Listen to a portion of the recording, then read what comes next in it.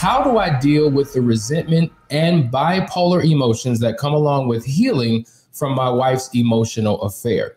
She had a close call friendship with the husband of a couple that was really close to us. Unfortunately, my friend committed suicide before any of this was exposed, leaving a lot of questions and unresolved issues. We're seeing a local counselor who is wonderful, uh, but she had to skip this week's session, and I was really looking forward to making some progress on this problem. I've struggled with this. I, I want my wife to hold me, but feel repulsed when she does. Help.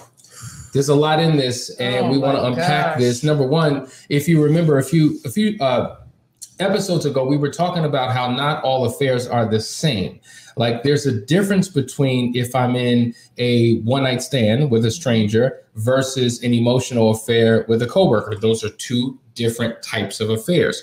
Uh, there's a different type of hurt and pain when uh, you're having an affair with someone that you're not connected to versus having it, your spouse is having an affair with somebody that you are connected to. Mm-hmm. And we've had many people who have uh, been inappropriate, had close call friendships, or full blown affairs with family members. Uh, recently, we just talked about having one with a neighbor. And now, in this situation, it is with a couple friend. So imagine that other couple that you roll with, that you're connected to, that in essence you do life with, right? You vacation together, you do meals together, your children go to the same school together, you may go to the same church together.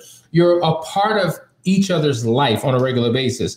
We as a couple are with you as a couple, but I, here's where it gets a little tricky. I have a relationship with the wife you have a relationship with the husband and there's ongoing casual conversations that happen. So it's no longer Team Pettiford with Team Jones. It's husband with wife, wife with husband, mm-hmm. and then that creates the scenario. Yeah, it started out, it sounds like it started out with good intentions, maybe as couple friends, and then maybe there was a, mm. more of a connection because sometimes people just connect and vibe more with the other.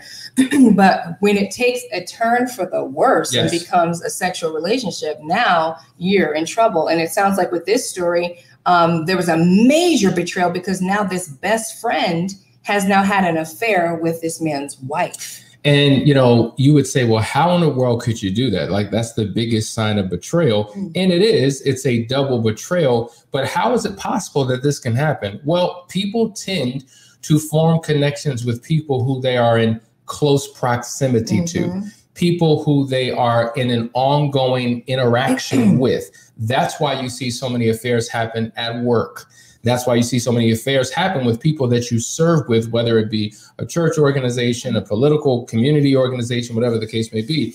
If I'm constantly engaged and interacting with somebody, it increases the probability.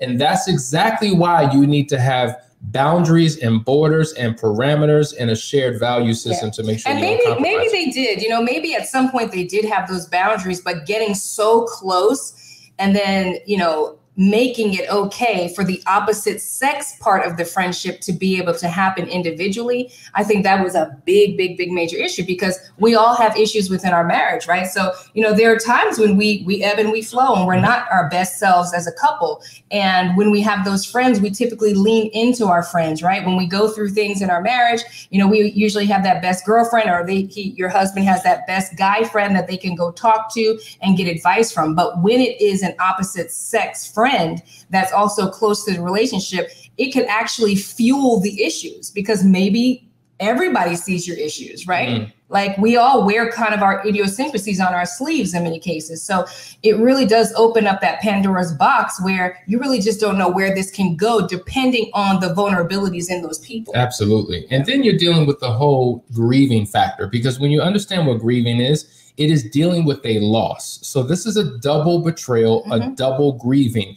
You're dealing with the loss of what you thought the marriage was because it's almost like your world comes crashing down when this information comes out and you got to figure out how to rebuild yourself. Mm-hmm. But then you're dealing with the loss of that relationship with that friend. I mean, think about your best friend who you share everything with, your most intimate details, your secrets. And meanwhile, they're the actual individual who's betraying you. Wow. I mean, that's a hard, hard, hard pill to swallow. And some would say that the pain of the friend could be, I mean, I don't know. It depends upon the person. For some, the pain of the spouse is worse than the friend. For some, the pain of the friend is worse than the spouse. It just Yeah. really depends on the nature of that friendship, how Wow. long it's lasted, what's actually happened. this stuff gets so heavy, right? When you think that you have it bad, you just look around the corner and somebody has it devastatingly Yeah. bad. I mean, did you didn't you say that the the friend actually committed suicide? Yeah, and that's the other thing. So not only did you betray me as a friend, Then but you exited the building. you like exited the building you, you you you took your life and so now i don't even have the closure that i'm looking for because guess what i was going to go to you to have a conversation because my spouse won't tell me everything Mm. there's the trickle truth i got to figure out how to maneuver through all of these emotions and that's what we're talking about today. How to deal with the resentment how to deal with the emotional triggers. Listen you're watching the couples academy show. We'll be right back